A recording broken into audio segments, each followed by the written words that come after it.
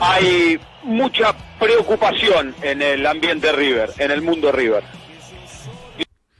Sí, sin dudas, porque es la segunda derrota consecutiva tras el 1 a 0 abajo en el Amalfitani contra Vélez por Copa Libertadores. Tito dijo más o menos a los 35 minutos del segundo tiempo que hacía mucho tiempo, dijo años, que no estaba fastidioso. Y me preguntó a mí cómo estaba. Y yo le dije, preocupado. River está, como dije, en el remate, en el final del partido, River está dentro de una tormenta.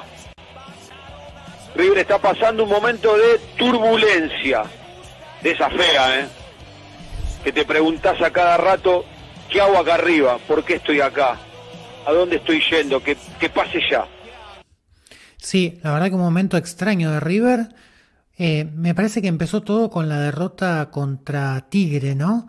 En cuartos de final de la Copa de la Liga Profesional, ese 1 a 0 de local que bueno, lo eliminó River de la Copa, me parece que a partir de ahí empezaron las dudas fuertes, ¿no? Porque si bien por Copa Libertadores siempre River fue un violín, al inicio del, de este torneo sí que perdió, perdió dos partidos, arrancó mal este torneo, después pudo, pudo remontar desde el partido contra Unión y la derrota ahora en octavos contra Vélez, que es una mini crisis del millonario, ¿no? Cuando la zafata habla y te dice, estamos atravesando una zona de turbulencia, por favor, abróchense el cinturón de seguridad. Y empezás a rezar y abrís la ventanita del avión y ves esos rayos cuando es de noche y no ves la hora que salga de ahí. Le pedís por favor al piloto que, que salga de esa nube, que salga de esa tormenta. Hay que decir ¿no? que hoy River contra Huracán jugó con un equipo muleto debido a que los titulares los guarda para la vuelta, la revancha contra Vélez que se va a estar jugando el miércoles a la noche en el Estadio Monumental. ¿no? En eso anda River, tratando de salir. No puede, no puede. Por ahora no puede. Los niveles individuales, colectivos de casi todos son preocupantes. Si juega Mamana, lo pedís a Herrera. Si juega Herrera, lo extrañás a Rojas. El pobre Robert Rojas que se está recuperando de la fractura. ¿Se acuerdan aquel jugador de Alianza Lima de Perú que lo, fracturó? Eh, allá en Perú había seguido el partido y bueno, supongo que le queda para algunos meses más de pasó por quirófano y está haciendo su recuperación, ¿no? pero obvio que Río lo extraña mucho por el lateral derecho. Si juega Paulo Díaz, te preguntás qué Paulo Díaz es. ¿El de la primera fase de la Copa o el que jugó contra Vélez? Y si juega Paulo Díaz, te mirás de reojo y te preguntas, che, ¿no está Maidana para jugar? Con 36 años, con una rodilla rota, pero con una valentía y una personalidad de acero. Y eso... Sí, hoy tuvo una mala noche Maidana que fue expulsado a los 30 minutos aproximadamente del primer tiempo en una jugada donde mete un codazo en el piso a, uno, a un rival de Huracán. Jugada que el VAR lo, lo terminó viendo desde arriba y le avisó al árbitro que correspondía expulsar a Maidana. Una jugada que el jugador de Huracán eh, cuando estaban disputando la pelota, hay un empujoncito en la, en la parte de arriba de Maidana, por eso ambos venían en velocidad, se caen al piso, se van resbalando hasta el banco de suplentes.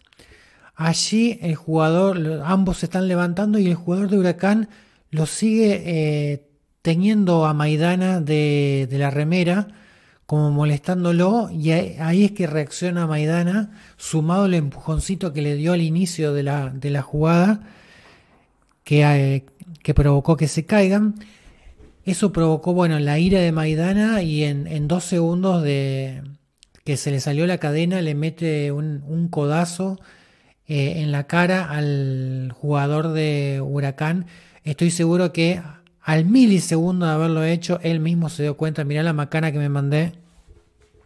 Claro, en un partido normal podría haber zafado porque estaban en el piso y encima estaban fuera de la cancha, estaban pisando el banco de suplentes porque del, del resbalón y de la velocidad que llega, traían, se fueron hasta allí. Pero claro, ahora con el tema del bar, esas cosas no se escapan.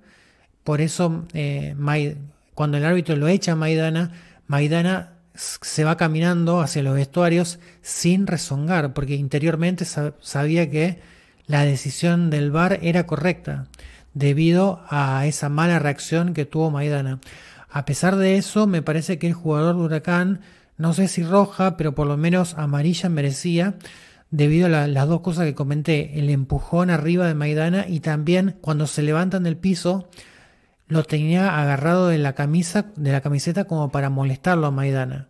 Y hoy lo echaron. Lo echaron. Juega Martínez. Bueno, y dejar al equipo con uno menos, faltando todo un tiempo y parte del otro, eh, fue un golpe tremendo para, para River jugando de visitante, jugando con un equipo muleto y encima dentro de un eh, contexto de mini crisis que está atravesando el millonario jugador de selección de Paraguay, con mucha técnica, que jamás volvió a su nivel después de su lesión. Le falta ser más malo Martínez.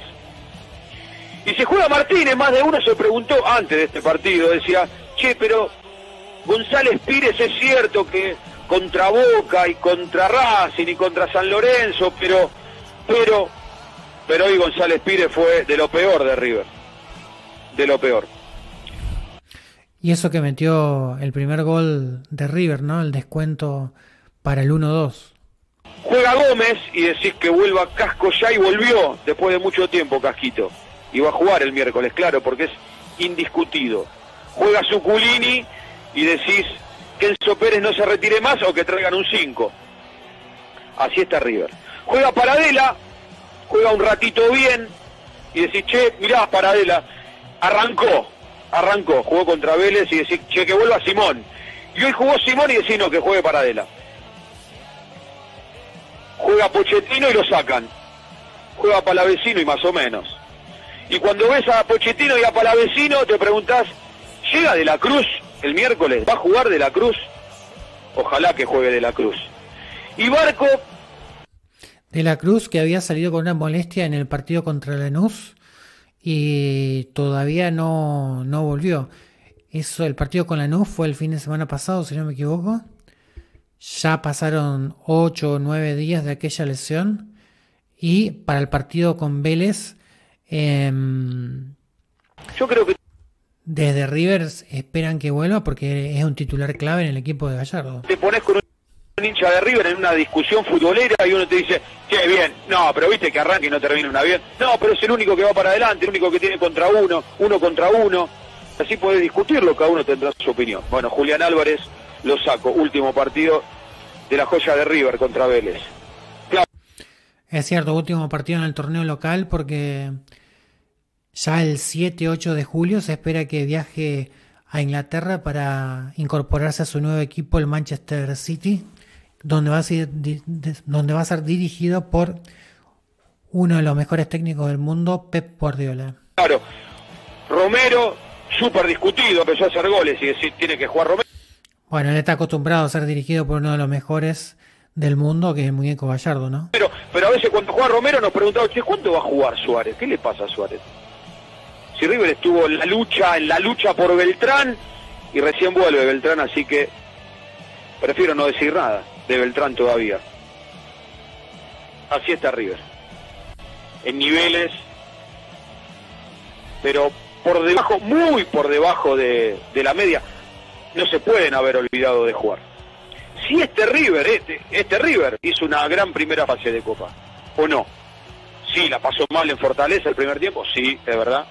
Armani fue figura. Y hoy Armani, que es el mejor de todos, pero lejos, el mejor de todos, hasta hoy más o menos.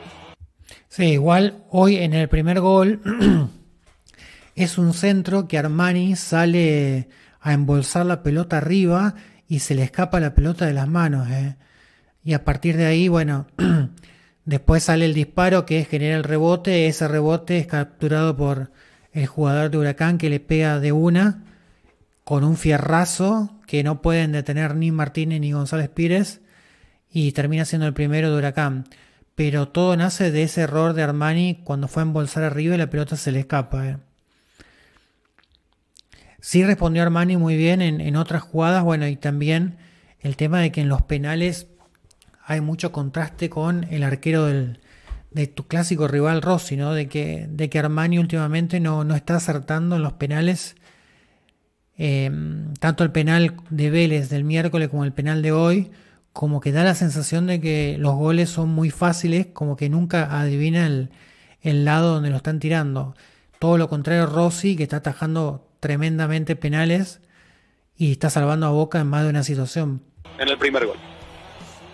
Ahora, en el segundo tiempo de hoy, con 10 ya se veía otra cosa. Hasta el muñeco era otro. Pero el tipo estaba entregado, sentado, miraba para abajo, nunca lo vi así. En el segundo ya se movió un poquito más, aplaudía, eh, vamos para adelante, dale, dale que se puede. Defendiendo así no se puede. Defendiendo así, vas para afuera, marchás. Defendiendo así como González Pires, como Martínez. Bueno, en, eso tan parecido con Boca porque el, viernes contra Banfield fue un desastre la defensa de Boca. Todos los jugadores recibían solo del, dentro del área de Boca, pateaban sin, sin que Boca ofreciera resistencia. Si aún no viste la reacción, puedes verlo en el link que te dejamos acá arriba, pero tanto la defensa de Boca muleta como la defensa de River muleta, un desastre. Es imposible. Con 10 jugó. Lo echaron a Maidana en el primer tiempo. A River le hicieron un gol. Un gol de saque de arco.